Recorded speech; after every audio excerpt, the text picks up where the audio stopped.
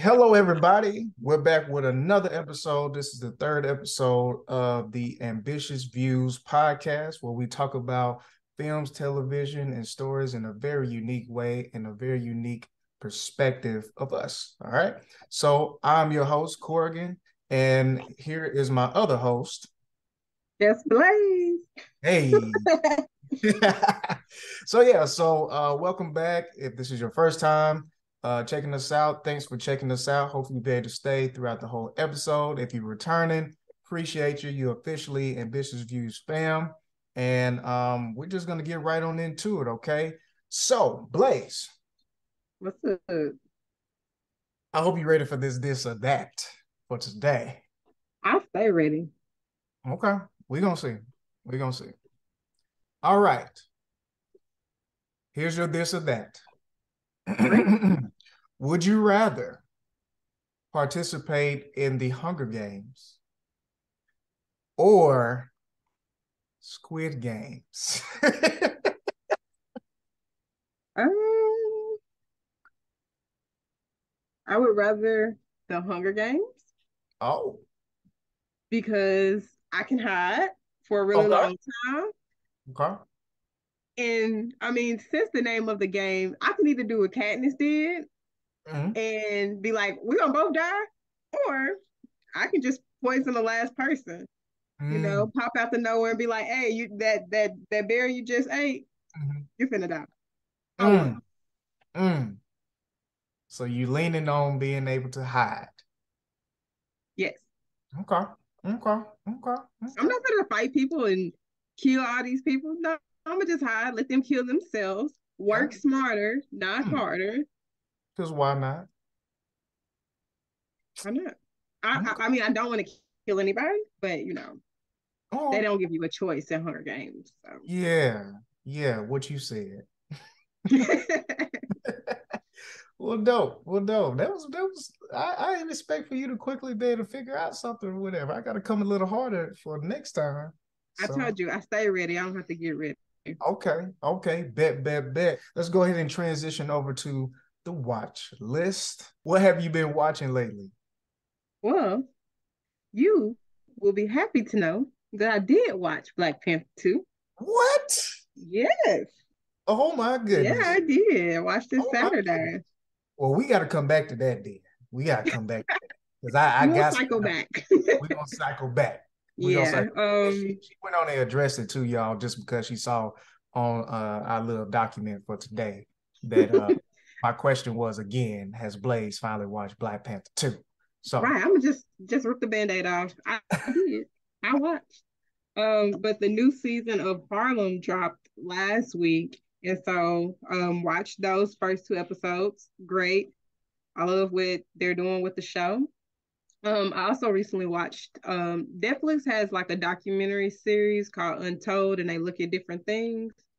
And I look, I've already watched the one about Malice in the Palace, where um the Detroit Pistons game where things went nuts. That was really dope. Um, but I watched um recently the rise and fall of AND1. I mm. didn't realize that AND1 One did not really exist like that um anymore. And i didn't know that they had such like a rich history and in mm-hmm. street basketball and stuff. So it was cool to learn more about that. It's on uh, netflix. Um and then you season four starts tomorrow february 9th and love is blind for my reality tv watchers um after the altar for season three drops on friday i think that's going to be interesting. That's going to be interesting. I need to kind of, I hope they give kind of like a recap because for some reason, certain moments I feel like is, oh no, now it's starting to come back to me. Yeah, it's, it's going to be very mm-hmm. interesting. If the couples are still happy, you know. Yeah. I think that's going to be the most interesting thing. This was very, this was definitely very unique. This past Love is Blind season was very unique. Um, in a lot of ways. And then definitely even after, I think the aftermath was probably the most intriguing out of all of the seasons. So I'm very interested to see where they're gonna go with that. But that's pretty dope. Um so for me, we finally finished Death Note. Okay. For my anime fans out there, we finally finished it. And those of you uh, who have seen it, you definitely gonna know where I come from uh, when I say that. Man, it it was a long time coming, but we finally finished it. You know, I don't want to spoil it for those who haven't seen it because it's definitely something very unique. And it's not even just because I don't want to spo- don't want to spoil it, but really it almost takes away from the show if I tell you too many details. But again, just in case you haven't seen the last episode that should be coming out pretty soon, uh, basically it's a main character who's pretty much like a whiz kid, but very chill in high school. He's a senior his name is Light. And basically, while he's sitting in class, all bored, he looks out the window and he sees a book, a notebook just falls out of the sky pretty much. And basically goes in is like, hmm, what's going on or wherever like that. And basically finds out after reading the instructions that if you write someone's name in that notebook, that they will die um, in just a few a few amount of minutes or more. You know, so it's it's pretty unique because it's like, okay, what in the world this guy is going to use this book for, like what he's going to do, especially high school students. So it's very, very unique. Like like the the description within itself is kind of like, okay, where's this going to go? But once you get into you like, what in the world am I watching? So it's it's pretty dope. Highly recommend. It's a one one and done kind of thing. I don't know if it originally was more than one season, but as far as watching it, it felt like just one season. Uh, if you watch it like in dub or in sub individually, I think it was around like maybe 37 episodes. So not too many at all. And plus, like, you know, the episodes are maybe like 20 minutes or so. So so Death Note was pretty dang good. We Wait, do you watch in dub or do you watch in sub? It depends. I I will say if I'm forced to watch it in sub, just because of my experience with Naruto, I don't mind watching it in sub because when we were originally watching Naruto, when it got to Shippuden to a certain point, they hadn't dubbed everything, and so we had mm. to watch the whole entire rest of the the series in sub. So I don't mind it, and we have to watch Boruto and sub as well. So I kind of feel like long as you're like into the long as the show is good and you're into it, it does it doesn't really it shouldn't really bother you as much, I don't think. Cause I know like when we watched Demon Slayer on Netflix. Uh, we watched it in sub, but then once we transitioned over to Hulu to finish everything, we watched it in dub. Some people sometimes say it takes away if you watch it in in dub or whatever. I don't know if my eyes are tricking with me, but it really don't make me any difference and stuff. And plus, sometimes I'm eating while I'm trying to watch, or you know, I am that type of person. Like, especially if I know it's doing a lot of dialogue, I am going to look at my phone or just right, whatever. That's what I you know was thinking. That's why I don't like sub is because I usually do stuff while mm-hmm. I'm watching something, mm-hmm. and so I don't I don't want to have to solely focus on that to make sure I know what's going on. Yeah. Like the reason why I got through Demon Slayer so fast is because I was watching it as I was doing my hair, so I could like listen to it. Mm-hmm. I didn't have mm-hmm. to read it because I watched it in um dub. Yeah, yeah, so I mean, it depends because, and I think that's credit to just anime. Like the dialogue alone is so intriguing uh, mm-hmm. uh, at times to where it's just like sometimes you can look down, you know, or do whatever and come back. But as long as you can at least hear it, I feel like it's pretty cool. Like honestly, I think I was thinking about Death Note. I could see Death Note being transitioned into like a uh, or transcribed into some type of podcast. I can literally just listen to it and I feel like it would be pretty dang dope just because of the dialogue that's in it. Because it's heavy, it's heavy dialogue. It's not as heavy as like I feel like to a certain degree Demon Slayer can be at yeah. times, but it's like the storytelling behind it, and you just your imagination. I feel like it'd be a really cool experience. Just sitting in the car, sitting in your office, and just listening to things go back and forth. Um, I think it would be pretty cool. So, um, but yeah, so dub sub really doesn't matter to me. To me, so I know some people are really picky. To me, it matters. yeah. Um Do not recommend me an anime to watch if I have to read it. Oh man. I won't watch it. Once you get into especially like not well, I would say this, especially for well, it seems like they dubbed Demon Slayer pretty fast. I feel like now since you're into Demon Slayer, I can see you being willing to watch it. So I can see myself watching Demon Slayer sub only because sometimes they be doing the most. And I just be like, shut up. yeah, I'm really I'm really excited for the upcoming movie slash series. I'm I'm hoping it's it's gonna keep on living up to the hype that I've been hearing a lot of people talk about the manga with without really spoiling it for me. So I'm really excited to see what's next. Um, I've heard that pretty much these other two um, higher up, well, other higher up ranked demons are like almost 10 times as worse. That's another thing with Demon Slayer. These higher rank demons are like unstoppable. I was gonna say Tanjiro is just a kid. Like come on man. Y'all can can we sense. go just where the, like why did they kill off the lower rank when those the ones he needed to go after first? Bro, like I don't know.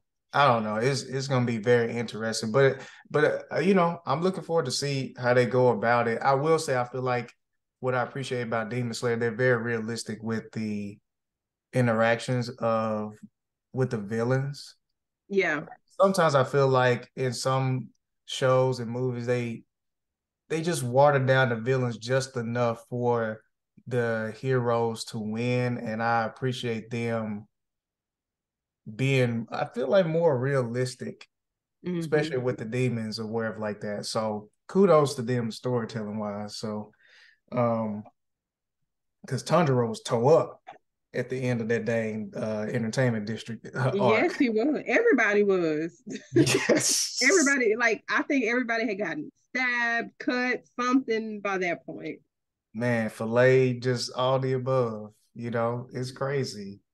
But uh, but yeah, like so that's that's what I've seen. It's really dope that you got to see uh the rise of fall, the rise and fall of AND1. That was really dope it was really cool to kind of look back and just try to like how see how everything behind the scenes kind of came to where it be as a a kid being a consumer because I remember the video game and all this stuff like that and mm-hmm. definitely growing up especially like from originally where I'm from like street ball was a thing you know AND1 was mm-hmm. a thing mm-hmm. like you know hot sauce like super popular professor Escalade all of them so it was really dope to really see that and um, I'm really enjoying the Untold series of Netflix.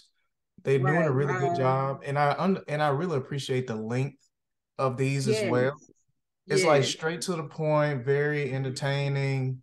And I like that it's not yeah. a limited series. Like yeah. it's like each one's just like a, a, a movie essentially, mm-hmm. as opposed to like I mean the mini series documentaries are okay, but sometimes they don't get straight to the point. It's exactly. a lot of fluff. Yeah. Exactly. So I I really enjoyed it. It's it's been one of my favorites and not the favorite. I think it's between that one. I think the Aaron Hernandez was very interesting, but there may have been a series though. I can yeah, I, I think, that one was a series. That was a series. Well, besides that, uh Malice at the Palace was definitely up there. Yes. Definitely up there. I was like, whoa. So that was pretty good. And um like I said, Harlem we've only we only watched the one episode because we watched it kind of late. I think it was like Monday night. But I will say the first episode was wild. It was really wild. So I'm really looking forward to seeing um, the rest of the series. It's looking good. And honestly, just especially because I grew up with her, really happy for Meagan Good being able to get a show like this and and mm-hmm. stuff like that, especially because she's been in the game for a very long time, pretty much since a kid, you know, right. and because she was pretty much a, a, a little kid in the Friday movie. I don't know if you ever, for those who are Friday fans, in the first movie, she was actually one of the kids that was trying to get uh, the ice cream or whatever like that from uh, Big Worm. So, so if you want to go back and check that out, she's actually one of the ones to do that. So she's been game for a while. So I'm really glad uh, this show is out there. It's kind of refreshing, which I think I mentioned this last time. It's kind of refreshing, kind of like a different vibe uh, kind of like Insecure did, you know, a while back. So I'm interested to see how this goes, and and all of the um, the lead women that are in it, they bring in uh, just a really fresh vibe to like mm-hmm. television and series. So just happy for them. Really dope series on uh, Amazon Prime. Um, one thing I forgot to mention that I really enjoyed last year in the first episode was the movie Nope. Um, Blaze, did you get to see Nope yet? Yeah, I saw it. I really enjoyed it. I feel like it was something very fresh, something new. And I um I don't know. I don't know if it was just because it was a Jordan Peele movie and it was very unique and you know people had mixed feelings of what they thought it was going to be and everything like that. And but I really enjoyed it, man. It was just like something refresh. Like I could see myself literally turning that on and watching it again, just sitting up at the house or whatever. It was really cool. First time I watched it, I was like, "What did I watch?" And mm. so then I did mm. my research, and I was like, "Oh, okay, that makes sense." And so I really should have just went ahead and rewatched it so that I could appreciate, you know, mm. everything I learned in my research. I'm gonna be honest. I think this has been my favorite out of his three. To be honest, really yeah, I might have to watch Get Out again. Like I know, like on a cultural standpoint, the fact that especially the time that it came out, it was very like not on point as in, you know, whatever, but just on point of just like sometimes I feel like how we feel like like people want to want our culture, you know, our beauty and all this stuff like that so much that they're willing to do whatever it takes to take it just so they can be us in the vibe at times you know, I get that, but just the it's just so very unique, man. Like, and I honestly, I think this is my favorite movie that Keke Palmer has ever been in for me. I think, mm. I think I got another one for you, Blaze. Let me let me see how you feeling. All mm-hmm. right. So, and we'll put this out on our social media because I'm interested to see what everybody's going to be thinking. So, what Blaze? Like, what is your top three franchises? Top three movie franchises that you got? What you got? Well, I think about top three. I'm thinking about like the movies that I'm going to rewatch over and over again. Mm-hmm. Um, I probably know the words to them. I know pretty much, you know, each action, scene, all that. So mm-hmm. my top three would have to be Harry Potter. Like, okay. I mean, the the goats of of that particular genre. Um, Next, I will go with Scream. It's crazy that I love a movie series that started, I want to say, the year I was born, but that's what I got Big Brothers for. They they put yeah. me on. But I love yeah. the Scream series. Every time a new one drops, definitely watch it. Waiting for the one that's dropping in March. Mm-hmm. And mm-hmm. then Spider Man, but specifically the Tobey Maguire Spider Man, because okay. he is the best Spider Man. Okay. Okay. And that's okay. not up for debate. So. but I also have to put a tie with X Men because I love the X Men series. I like the first few, the first three, but I do enjoy like I don't want to say reboot because they still kind of use some of the older people. They just mm. kind of told it from a different um time period and timeline. But I, I I love that like the last three set start that started with X Men First Class. I mm-hmm. really enjoyed spotted out about how Magneto and Charles met each other and mm-hmm. became friends. Um, that was a really dope storytelling. Some there were some, you know, iffy plot points, but overall, those are movies that I'm gonna always rewatch if I see them on or just randomly. Dope, dope, dope. Okay. What cool. about you? All right, so I don't know if I mentioned this the other time, but I've been on a Rocky like individual like random marathon, and we still got one more to watch, which is Rocky Balboa, which was the sixth one, I believe, that came out. Which I do remember watching it, and overall it was pretty dang good. Um, for it to be years later, but I got to put Rocky as my number one.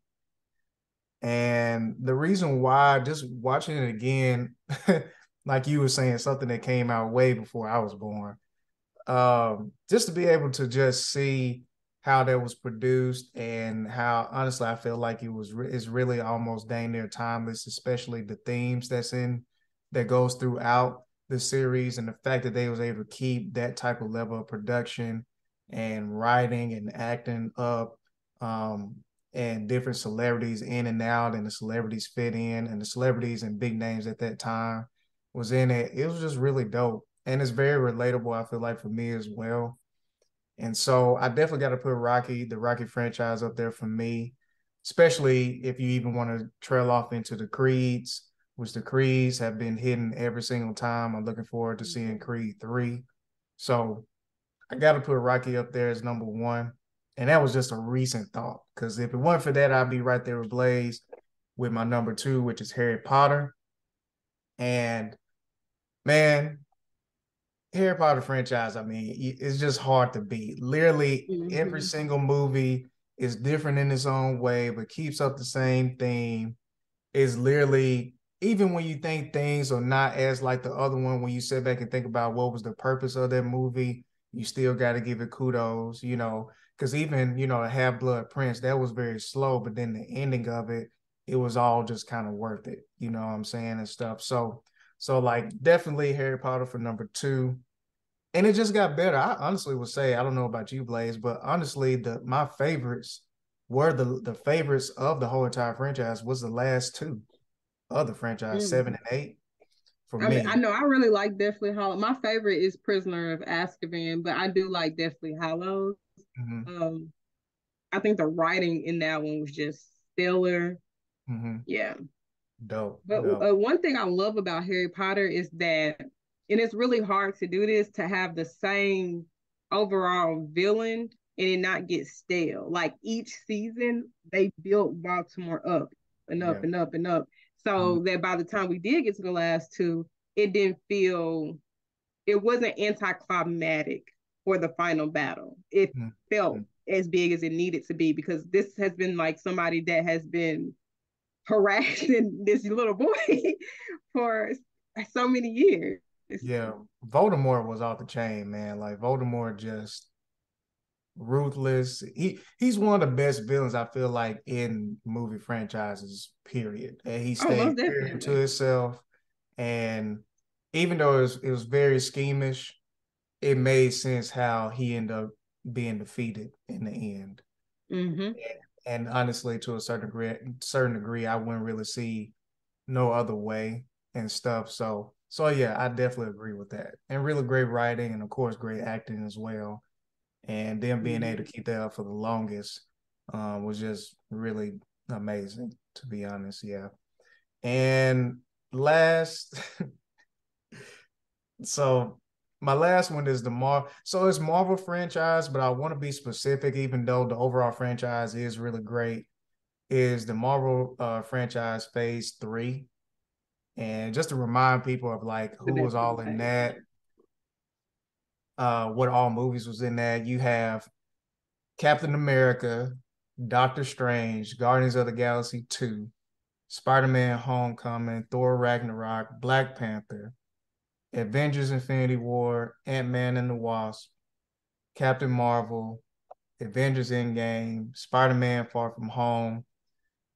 Uh, and I think that was pretty much it. Yeah, Spider Man Far From Home, because that was kind of like the moment where, okay, how is everything gonna seem now, especially for Peter, mm-hmm. now that his hero Iron Man is gone. So so yeah, so that would be that along. I have it tied with two other franchises, which ironically I just realized is Marvel.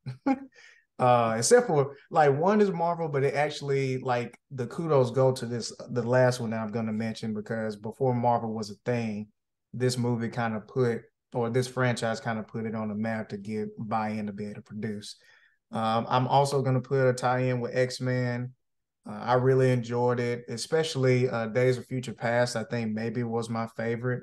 I feel like it was very unique how they pretty much brought all different aspects of what they've done with uh, First Class, uh, like Blaze Blaze was mentioning earlier, all the way to the other characters, and then the fact that I don't think it was considered a post credit scene, but the fact that after everything that happened, we got to see the original Jean Grey and Cyclops at the end, mm-hmm. which had me mm-hmm. excited thinking they was going to bring it back. But Days of Future Past, I really feel like really wrapped up everything and was really dope. Mm-hmm. Um, along with, I guess, if you want to consider the Wolverine trilogy as well, like those are pretty damn oh, yeah. good, unique.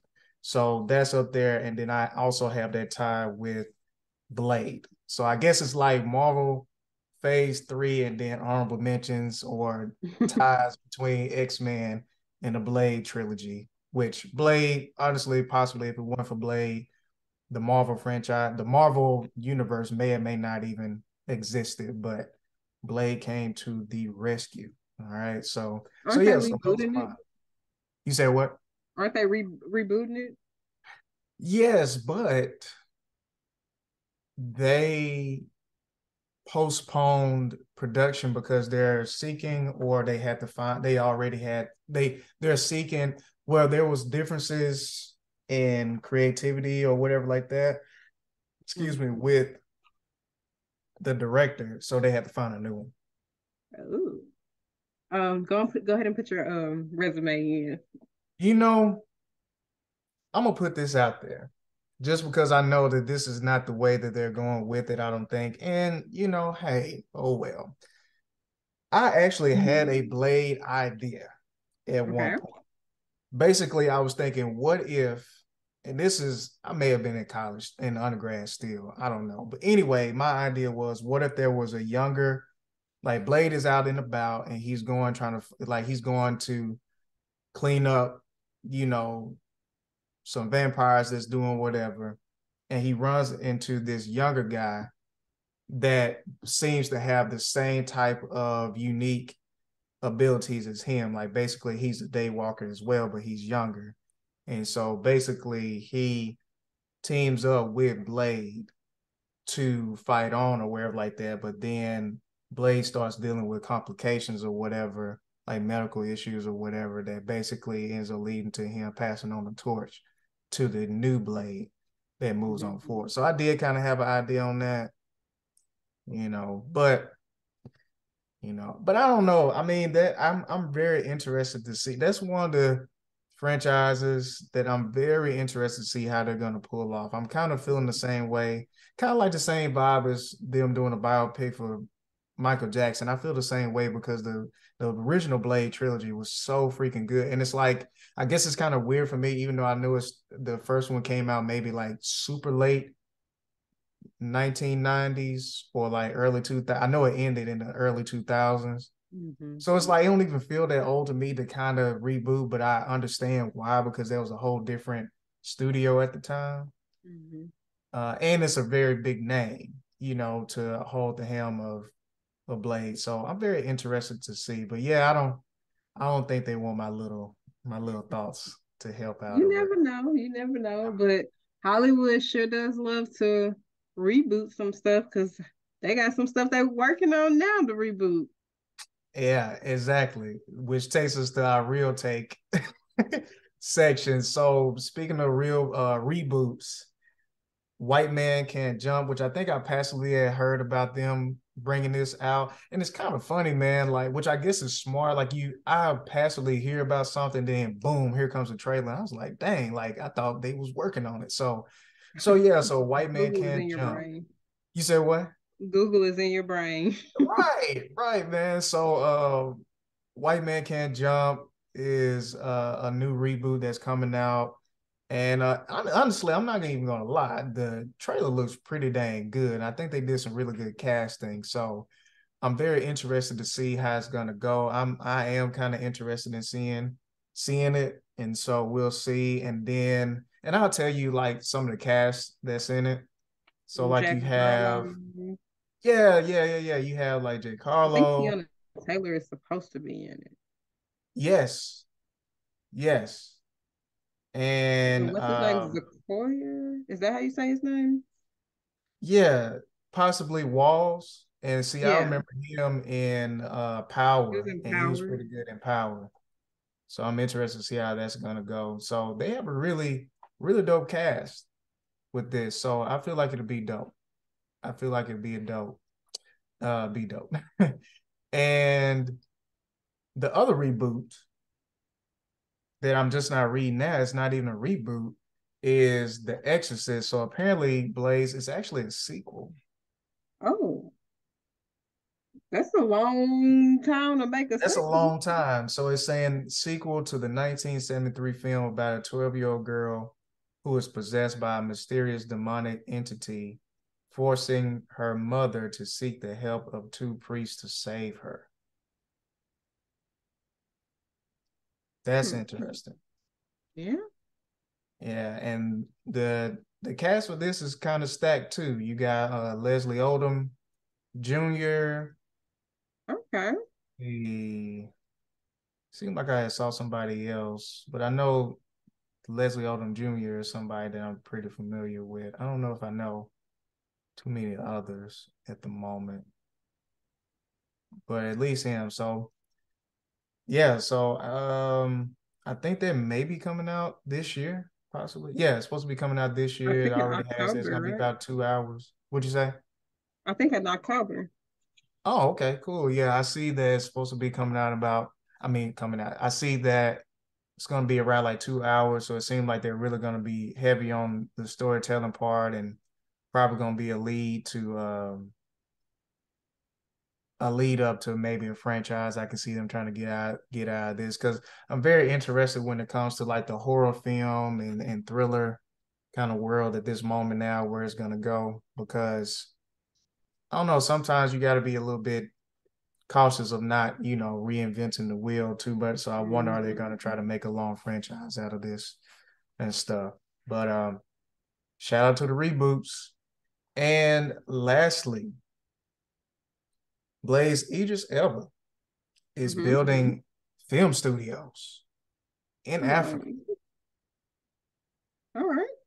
In the motherland. So I saw a report that said that he uh, plans on working with the country of Tanzania and I believe Ghana as well to build studios. So one in East Africa and one in West Africa, which both countries have been uh, pretty popular lately when it comes to vacation destinations and uh, some diaspora uh, going to revisit and everything like that. So um, kudos to him to uh, giving back um, to the motherland and providing an opportunity and stuff like that. But Blaze, like you know, when you when you first saw this or whatever, what you was kind of thinking, what came to mind?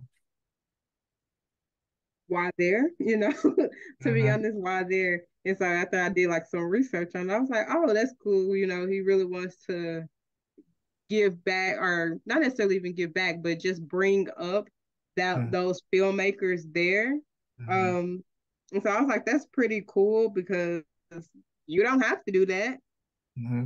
Mm-hmm. But that also will open up so many opportunities, not just for the filmmakers there, but for um those those portions of Africa because people are gonna want to go there and film movies there. You know, mm-hmm. I can mm-hmm. see a lot of Marvel movies mm-hmm. um being filmed there. Yeah, yeah, definitely, definitely. I'm I'm very interested and excited as well. I'm I'm just really happy to see us being able to reconnect back to our roots um, and connect. I mean, mm-hmm. shoot, it's a reason why Netflix is creating a whole bunch of um, movies and series out of Africa because it's it's really mm-hmm. it's really growing and it's a lot of talent there. I follow a lot of YouTubers and uh, creatives out of Africa, especially between Nigeria and Kenya and Tanzania and mm-hmm. Ghana as well, especially Wode Maya and so and uh Teo.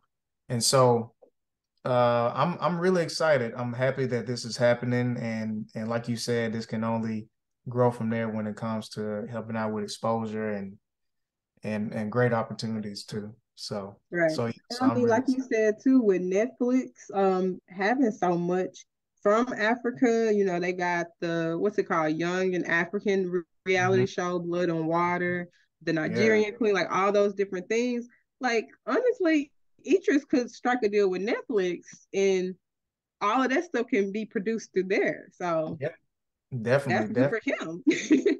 definitely, definitely, and you know us, just diaspora all all around the world, we always kind of looking for a place that we feel like we belong and everything like that. And mm-hmm. I mean, who knows? I mean, you know, hey, as a especially independent filmmaker, man, I'm having a hard time producing or affording things here. You may want to go over there and work with people over there, you know. So it's I'm very interested to see how this kind of unfolds in the future, but definitely great news to hear about and mm-hmm. stuff like that. So, but other than that, I think that's it for today, Blaze. That's it. That's it. That that's is it. it. well, cool. Once again, once again, thank you all for tuning in to another episode of the Ambitious Views podcast. Please keep on sharing. Please keep on listening in. And please let us know what you think about these episodes. And, and please always feel free to let us know what you would want us to talk about. You know, we definitely want to make sure that uh, we're engaging when it comes to different topic topics and stuff like that. And we want to know what other things are going on out there that we may or may not uh, have mentioned. So uh, until next time, y'all take it easy.